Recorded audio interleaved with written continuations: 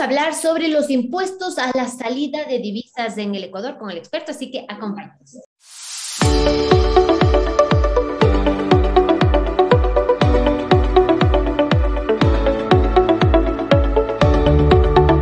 Negocios en Digital 829.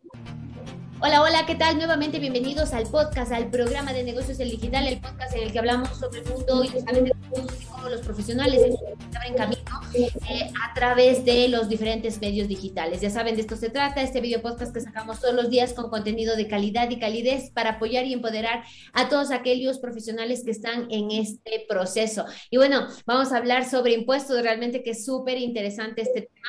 Eh, con nuestro experto, pero claro, no sin antes este comentario. Bueno, estamos un jueves más, jueves 25 de noviembre del 2021. Vamos a hablar, como les decía, de los impuestos a la salida de divisas, ¿no es cierto?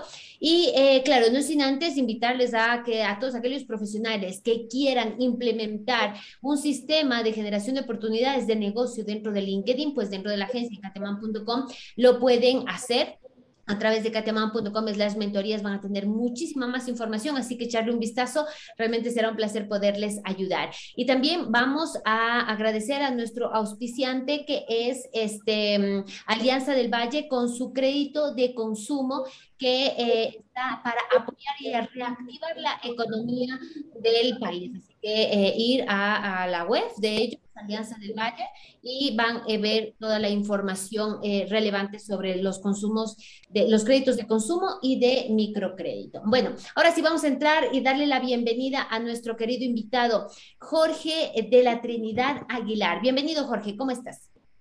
¿Qué tal? Un gusto, muy contento de su invitación y pues aquí presto a compartir insights, comentarios y lo que se pueda con respecto a este tema que a veces es muy controversial, ¿no? Seguro que sí, es un tema muy controversial y bueno, ya vamos a ver y por eso pues te hemos traído a, ti. Y bueno, y antes de entrar en materia, mi querido Jorge, ¿quién es Jorge de la Trinidad y a qué te dedicas? Que por supuesto, soy ingeniero en tributación y finanzas con una maestría en administración tributaria. Eh, hoy me dedico a o trabajo en la, en la, firma PwC o PricewaterhouseCoopers, en la cual desempeño eh, o formo parte del equipo de impuestos como tal. ¿no? He participado en consultorías eh, tributarias respecto a proyectos de nueva inversión, reestructuraciones, due diligence y nuevos proyectos como tal que vienen a Ecuador, tanto para empresas locales como multinacionales. Y he sido ponente en varias oportunidades de temas, sobre temas tributarios y contables en diplomados y conferencias en general. ¿no? Genial. Bueno, ya saben, siempre traemos expertos que eh, con su alto eh, conocimiento y experiencia nos van a aportar y darnos este, claridad en ciertos temas. Y en este caso, el impuesto de la salida de divisas. Bueno, vámonos al SRI y a entender qué es esto de primera mano, ¿no? El concepto que ellos tienen. Dice, es el hecho generador de este impuesto, bueno, el hecho generador de este impuesto lo constituye la transferencia, el envío o el traslado de divisas que se efectúen, ¿no es cierto?, al exterior, sea con efectivo o a través de giro, ¿no es cierto?, de cheques, de transferencias, retiros o pagos de cualquier naturaleza, con excepción de las compensaciones realizadas con o sin intermediación de instituciones del sistema financiero. Bueno, en todo caso, este es el concepto que tiene el, el SRI, ¿no es cierto? En tus palabras, em, ¿cómo poder entender este impuesto y este, efectivamente eh, ya en, la práctica, ¿a quién afecta? Eh, a ver, para poder entender un impuesto, siempre yo invito a las personas a verlo desde cuando se creó. Este impuesto fue creado o incorporado en la normativa ecuatoriana en el 2007 a través de la ley de equidad tributaria, en la cual su objetivo principal fue imponerlo como un impuesto heterodoxo. ¿Qué quiere decir esto? Que es un impuesto que no es común. Es un impuesto que eh, usted no se lo va a encontrar en, todos los países eh, o lo va a ver en todos los países como un impuesto a las ventas, un impuesto a la renta, que es común encontrarse. ¿no? Eh, al ser un impuesto, digamos, particular, tiene un objetivo que es el control tributario. Y en su momento, pues el objetivo de este impuesto fue controlar la salida de capitales del Ecuador, principalmente al ser un país que estamos dolarizados, ¿no? Entonces, cuando se creó este impuesto, que efectivamente fue en el 2007, fue una tarifa del 0,5%. Eh, no fue hasta el 2009, si, si no me falla la memoria, que creció, aumentó al 2% y terminó desde el 2011 a la fecha en un 5%. Entonces, en primera instancia, tenemos que tener claro que es un impuesto controlador para efectos del control tributario, ¿no? No es recaudador. A lo largo del tiempo, desde su creación a la fecha, se ha convertido en un impuesto recaudador, porque se ha visto las oportunidades de que a través de este impuesto las arcas fiscales puedan verse beneficiadas. Hoy en día, según las estadísticas y de acuerdo a lo que, nos, a lo que podemos observar y estadísticas públicas del SRI, el ISD es el tercer impuesto que más recauda a nivel del país, eh, llegando eh, a octubre del 2021, según la última estadística, a 980 mil dólares aproximadamente, ganándole al ICE. El ICE está en un cuarto lugar, que es un impuesto a los consumos especiales. Y en segundo lugar tenemos el impuesto a la renta con 3,6 millones, me parece, y el impuesto al valor agregado en primer lugar con 5,4. Entonces, veamos la importancia que tiene y muchas veces, eh, como decía hace unos días atrás, es muy fácil decir vamos a eliminar el impuesto a la salida de divisas por X y Z motivo, pero al ser un impuesto tan importante para la recaudación, a veces es muy complicado tocar esos temas, ¿no? Ahora, em, eh, valioso, gracias por toda, toda esa información, el entender, bueno, el origen, por qué, bueno, cómo ha ido incrementando y el impacto que tiene para el fisco por el, por el volumen de ingresos que esto genera, ¿no? Y por eso la dificultad, como tú bien dices, que se elimine ahora. Ahora, ¿cuáles son las entidades que se ven más, eh, digamos, impactadas o las que más eh, aportan por este impuesto? En ese sentido, va a depender mucho va a depender mucho de cómo se aplique la normativa. Eh, hay, que, hay que precisar que todas las compañías, todas las personas naturales están obligadas a pagar el impuesto. Hay exenciones, hay temas de particularidades en la normativa que se pueden aplicar siempre y cuando se cumpla todas las condiciones y requisitos de la normativa. Sin embargo, eh, a todas le puede afectar. Es decir, si yo hago un pago al exterior por un servicio que estoy importando, pues voy a tener que generar un ISD si yo tengo un crédito contratado en el exterior que no cumple las condiciones que me dice la normativa, todo pago que yo haga al exterior voy a pagar ISD. ¿Cuándo afecta a la industria? Afecta a la industria cuando no existe una planificación tributaria, por decirlo de cierta manera, en la cual no se revisa la normativa previamente, qué necesito yo para tal vez estar exento, no estar sujeto o poder aplicar un crédito tributario. ¿Ok? Eh, ahí en ese punto, cuando no existe esta planificación previa o esta evaluación, digamos, de la operación que se quiera hacer, genera ISD, genera un costo fiscal para la compañía y esto pues es un impuesto que no se puede trasladar. Es un impuesto que lo tiene que asumir la persona o la compañía y representa un costo fiscal. Entonces, partiendo de, ese punto, yo diría, pues, muchas industrias pueden verse afectadas, no hay que por qué puntualizar, Sí hay compañías que se benefician de esto porque aplican la normativa basados en una planificación. Por ejemplo, saben que tienen que contratar un crédito con una entidad financiera ubicada como tal en el exterior, que efectivamente esté aprobado el, el contrato en Ecuador, en el Banco Central, para poder acogerse a una exoneración, que sea una inversión productiva. Hay condiciones que establece la normativa que una buena planificación, como siempre lo digo, eh, evitaría que uno tenga estos ¿no? Qué interesante, ¿no? El que las, bueno, en las empresas nos asesoremos de expertos como tú para armar esta planificación y pues de manera legal buscar eh, bajar un poco estos impuestos, ¿no? Para las, las empresas y hacernos más competitivos. Ahora, en, base a, hubo hace un tiempo atrás la noticia de que bajaba el porcentaje de este impuesto en algunos eh, rubros. ¿No es cierto? Eh, ¿Tú cómo ves, eh, ya que estás, eh, tú eres experto en el área, cómo ves, cuál es el planteamiento o está haciendo bien el gobierno haciendo esto? ¿Va a haber planes a futuro para bajar en otros rubros? Sí, de lo que se sabe y de lo que ha mencionado el, gobierno como tal, sí van a haber planes de eliminarlo, tal vez gradualmente, para ciertas industrias, eliminarlo por completo, es el objetivo, creo yo, inicial con el que comenzó el gobierno, pero efectivamente en el camino se ha podido ver que puede ser muy complicado por, la necesidad que se tiene en, las arcas fiscales. Ahora, en este punto, tomemos como ejemplo, en, en, septiembre salió el decreto presidencial que efectivamente pues crea un régimen, digamos, que toda transacción que sea transferencia de divisas por parte de las aerolíneas extranjeras va a estar un 0% de ISD.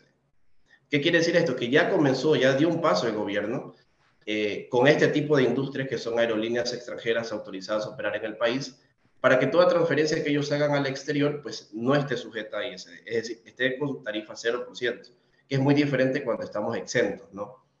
Y bueno, fue regulado por, a través, por el SRI a finales de septiembre, 30 de septiembre me parece, y a partir de la publicación del, de la resolución del SRI como tal, toda transacción ya no está sujeta a ISD, es decir, graba 0%. Y llegando a tal punto que como se publica un poquito tarde la resolución, se menciona que desde el 1 de octubre toda transferencia realizada por este tipo de compañías está grabada con 0% de ISD. Y si hubo algún tipo de, de gravamen o, se retuvo algún tipo de valor, tienen que ser devueltos. Claro que sí hay, condiciones como todo, eh, presentar formularios, presentar ciertos, ciertos requisitos previo a la transferencia, pero son formalidades que hay que cumplir como todo tipo de impuestos, ¿no? Y esto aplica solo para las aerolíneas, de lo que entiendo. No aplica para aquellos eh, clientes de las aerolíneas que viajan por ahí. Esto no, no aplica, porque puede haber una... Por, por, por el momento, no. Por el momento solo es para las aerolíneas extranjeras autorizadas a operar en el país, que incluso uno de los requisitos es presentar la autorización del ente de control a operar como tal. Claro. Pero de ahí al cliente o a otro tipo de industrias, por el momento no.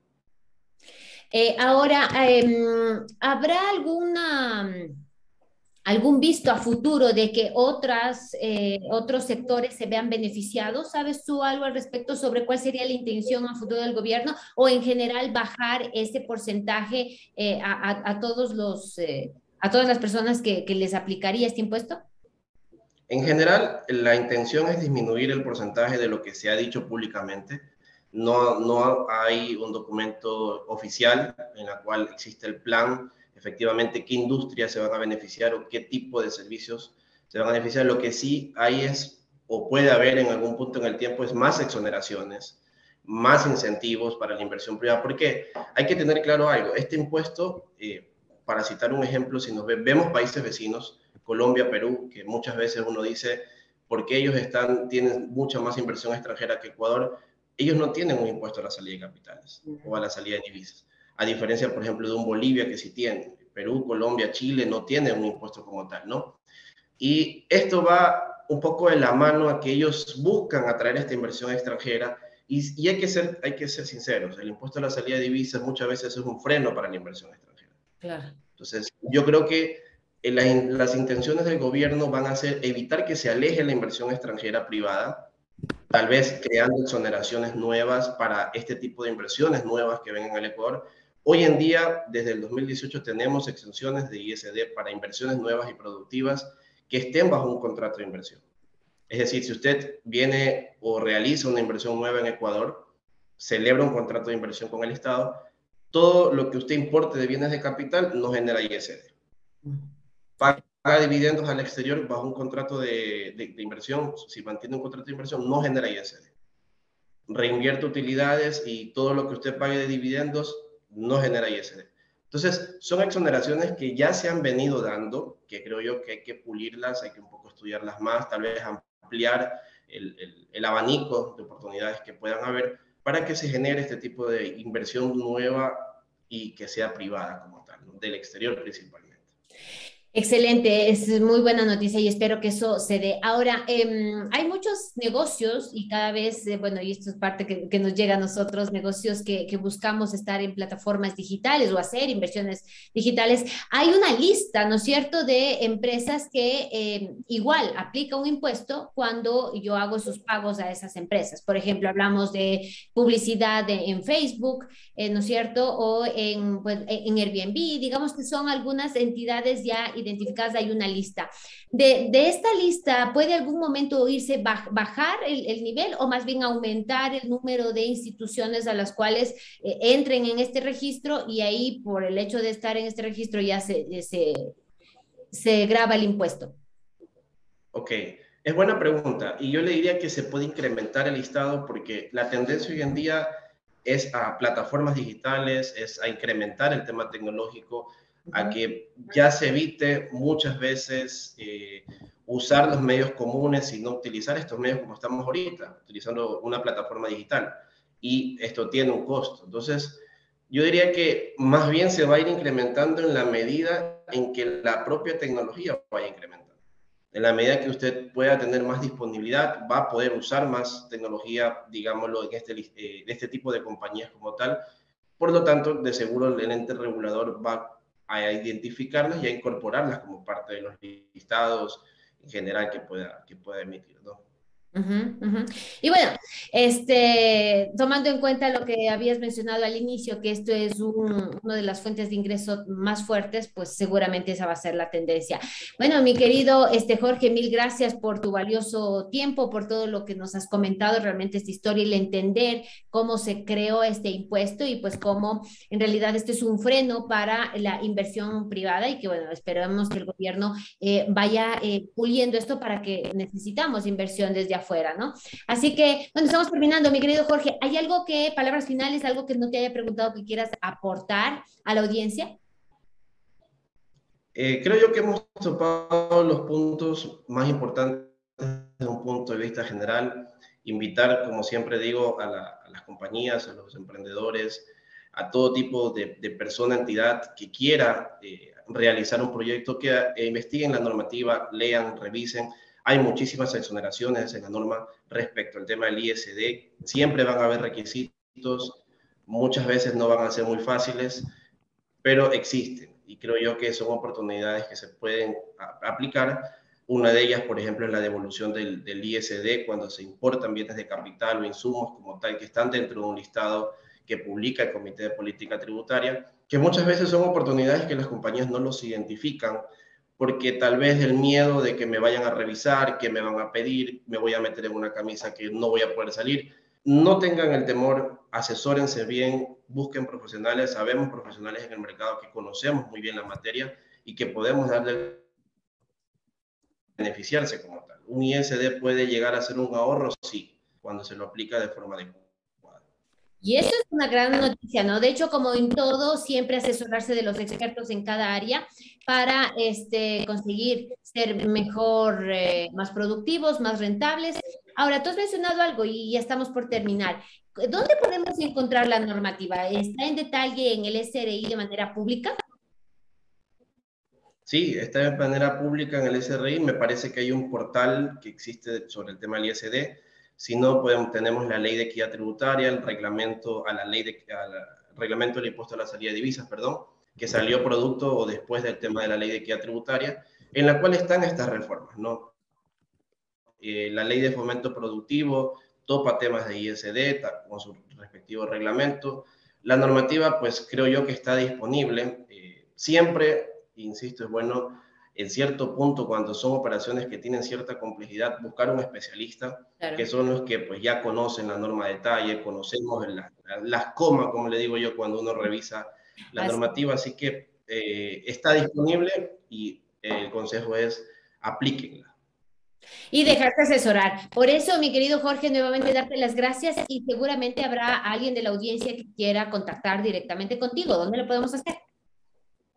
Eh, a través de LinkedIn aparezco como Jorge de la Trinidad o Adrián de la Trinidad, que son mis dos nombres. Y bueno, trabajo en PwC, asesores empresariales, como le decíamos al inicio. Y de seguro, pues le compartiré a usted mi correo para poderlo poner Claro que sí, claro que sí. Van a quedar los enlaces ahí en las notas del programa. Nuevamente, Jorge, mil gracias por tu aporte, por tu valioso tiempo y gracias también a la audiencia por escuchar el podcast en las diferentes plataformas, en Spotify, en Google Podcast, en iVoox, en iTunes, en el formato de video en YouTube. Ya saben, nos retransmiten también nuestros canales aliados Tu Voz TV, Contraportada y El Vanguardista. Así que, este, bueno, dar las gracias nuevamente a nuestros auspiciantes, que es la cooperativa Alianza del Valle. Y pues nos vemos y nos escuchamos el día de mañana terminando la semana, que no se la pueden perder. Se les quiere mucho, un fuerte abrazo. Nos vemos. Chao, chao.